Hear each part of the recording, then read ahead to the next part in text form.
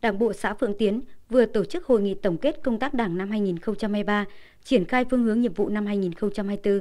Dự hội nghị có đồng chí Nguyễn Khắc Kiên, Ủy viên Ban Thường vụ Huyện ủy, Phó Chủ tịch Hội đồng nhân dân huyện, Thường vụ phụ trách Đảng bộ xã.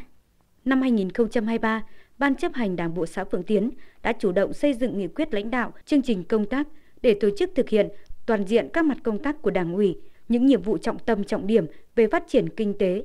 Qua đó đã đạt được nhiều kết quả tích cực. Tổng sản lượng lương thực có hạt đạt gần 3.000 tấn, đạt 101,8% kế hoạch cả năm. Diện tích chè đăng ký trồng mới 1,9 ha, đạt 190% kế hoạch. Trồng rừng tập trung đạt trên 50 ha, đạt 113,89% kế hoạch. Tổng thu ngân sách đạt trên 6 tỷ đồng, đạt 119% so với kế hoạch. Giảm tỷ lệ hộ nghèo 3%, đạt 100% kế hoạch. Hộ cận nghèo 3,14%, đạt 104,7% kế hoạch. Kết nạp được 10 trên 9 đảng viên, đạt 111% kế hoạch.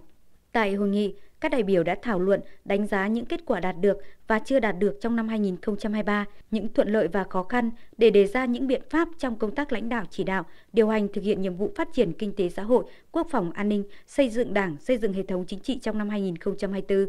Nhân dịp này, Đảng bộ xã vương Tiến đã khen thưởng cho 3 tập thể và 47 cá nhân có thành tích xuất sắc trong công tác xây dựng Đảng.